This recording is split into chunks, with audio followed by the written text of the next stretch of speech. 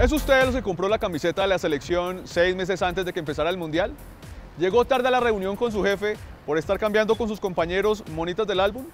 ¿Empeñó la casa para comprar tiquetes a Rusia? ¿O por lo menos se endeudó hasta el cuello para comprar ese televisor de 60 pulgadas que le va a permitir ver todos los partidos del Mundial Rusia 2018? Si respondió sí a cualquiera de estas preguntas, esta nota le puede interesar. Porque según una imagen que está apareciendo por Twitter, sí, otra vez Twitter, el presidente ruso Vladimir Putin canceló completamente el Mundial de Rusia 2018. Para tranquilidad de todos los futboleros y amantes de este deporte que mueve el planeta, esta noticia es completamente falsa.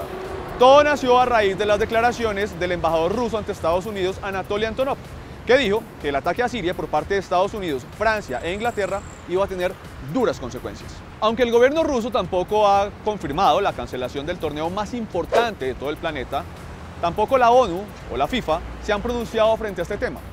Hay que tener en cuenta también que en 1942 este torneo fue cancelado por el inicio de la Segunda Guerra Mundial y en 1946 también fue cancelado por las consecuencias que dejó la misma. Por ahora no hay que comer cuento de toda la información que salga respecto al tema.